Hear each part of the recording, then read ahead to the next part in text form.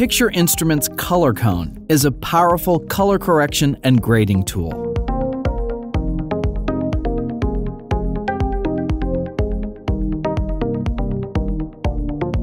Be sure to like this video and subscribe to the channel to get FX Factory tutorials, pro video tips, and software and product reviews every week.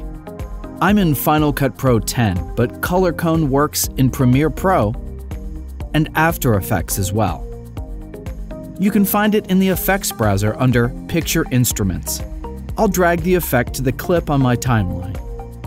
To use the Color Cone interface, click the Open GUI button. With Color Cone, you can select and correct any color range. Note the new point in the color cone. Add up to five points and correct them separately. Select a point in the color cone. Note the source color on the left.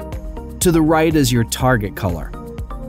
With the click of a button, you can highlight your color selection with a pink overlay. The radius slider allows you to control how many of the adjacent colors will be selected. The three controls under the target color change the hue, saturation, and brightness of the source color. This allows you to make adjustments to specific colors, like sky or grass corrections. You can also selectively saturate or desaturate colors as well.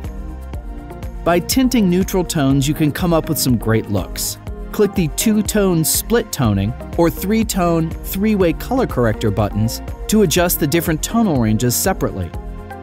Clicking the Auto Radius button for a point adjusts the radius so it touches an adjacent point but doesn't overlap, so the two corrections don't interfere with each other. The Auto Radius function will stay activated and keep working while you make other adjustments. Color Cone also includes some powerful skin tone controls. The first control protects the skin tones from the tint of the corrections. The next two allow you to adjust the saturation and hue of the skin tones separate from the color cone corrections. Finally, there are contrast, saturation, and brightness sliders for the entire image. Picture Instruments Color Cone is a unique and powerful way to color grade your footage.